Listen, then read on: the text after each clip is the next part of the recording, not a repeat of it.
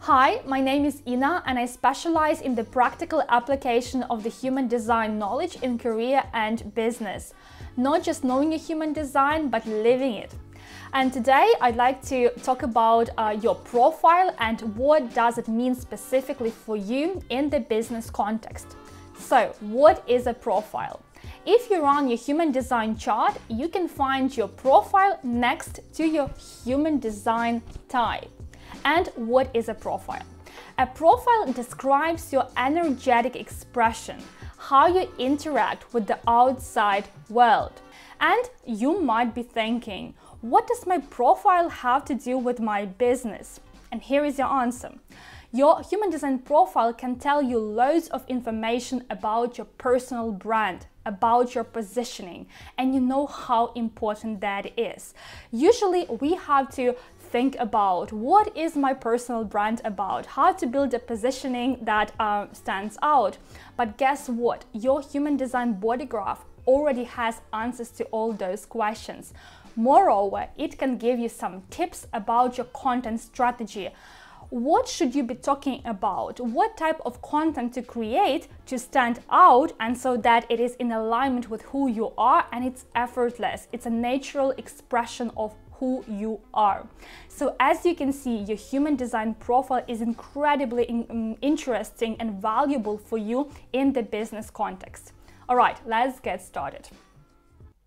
The official human design name of this profile is the Martyr Heretic. Translating it into the business language, the word martyr I would replace with the word experienced, and the word heretic with crisis manager an experienced crisis manager.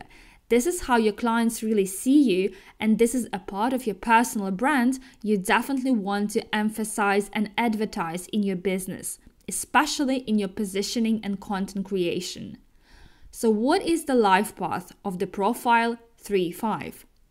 From an early childhood, people with the profile 3 5 are very restless, rebellious, and just too unconventional quite different from the majority. They say the type of kids who have ants in the pants. They need to know it all, try everything out, test what works and what doesn't, and break things down possibly to get to the root cause. Knowing that fire burns is not enough for them. They need to touch it to know for sure. People with the profile 3 5 never play by the rules. Why? Because that is simply too dull and boring. They need their own lessons and their own experiences. And because they never conform and in a way always go against the system, go their own way, they are faced with a number of challenges, mistakes, misfortunes, failures, which sometimes may feel disappointing. But we'll get to that later. This is how the life of a 3 5 profile looks like.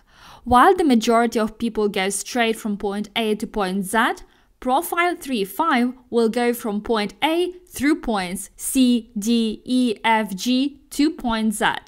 And when you look at this from the outside, you might think, why complicate your life so much? There are much easier ways. But here is why.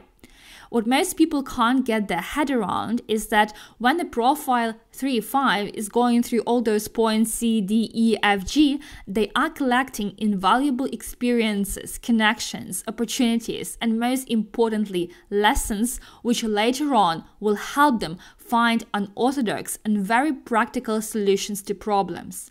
This is what makes a profile 3-5 a trustworthy authority we just buy into their practical solutions. Why? Because we trust people with the profile 3-5 and get attracted to them like bees to flowers. The interesting part is that profile 3-5 might not always be aware of their attractiveness and magnetizing nature. This is because this part of them is subconscious. Something that a profile 3-5 is definitely aware of is their trial and error and their thirst for adventures. There is just one disclaimer to keep in mind. People with the profile 3-5 you can only be seen as influential leaders and problem solvers under one condition. This is when you don't get into the why life is so unfair to me mode. The moment you start to think that something is wrong with you because the world is against you, the moment you get pessimistic and start comparing yourself with others, this is when you can easily fall into depression and lose that impactful image and leadership style your clients buy into. Therefore, your attitude is key. Your optimism, sense of humor, irony are your best friends. When life is bombarding you with failures and mistakes, just smile back and ask, What else have you got for me? Also, start valuing yourself more for your superpowers, and trust me, you have a lot of them. Your adaptability, your resilience, and your wisdom. This is not something that a lot of people have. These qualities are incredibly valuable in career and business as they will help you overcome the hardest times and give you power to survive when most people give up. Now, a few points about a Profile 3.5 in business. Profile 3.5 this is your call to action. You absolutely need to monetize your experiences, your invaluable lessons and solutions that cost you a lot of pain, trial, and error. Build your content strategy around storytelling. Make people trust you and fall in love with you through your personal stories. Be honest and tell people about your mistakes, failures, and disappointments. I think this is the best way to resonate with your target audience. Secondly, since one of your natural business strengths is being non-conforming, you kind of always go against the grain, emphasize how your solutions are different from anything else that is on the market. Emphasize that practical and individualistic, untraditional approach to the problems you solve. Again, draw people's attention to your unique experiences. My next business advice is probably a little weird, but do not be afraid to show your looks, your face, and your body, as they are incredibly attractive and magnetizing. This is very helpful in marketing. There is something quite seductive about your looks. And this may be an additional advantage for your business. I really like this, this, marketing advice that if you want people to buy from you, make them fall in love with you. This is definitely a good advice for the Profile 3.5. And finally, something very important. Due to your subconscious fifth line, you'll be attracting a lot of projections in your life and more specifically in business. This is when people see in you someone they want to see, but this is not necessarily who you really are. You need to be aware of these projections.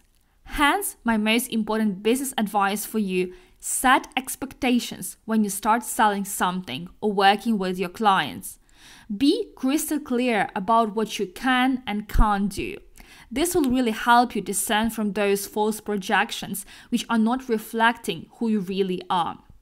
If you want to understand more details about your chart and what does it mean for you in the business context, feel free to reach out to me on Instagram where I post daily human design content for business and also where you can ask me your human design related questions and book a session if you are interested. See you in my next profile series.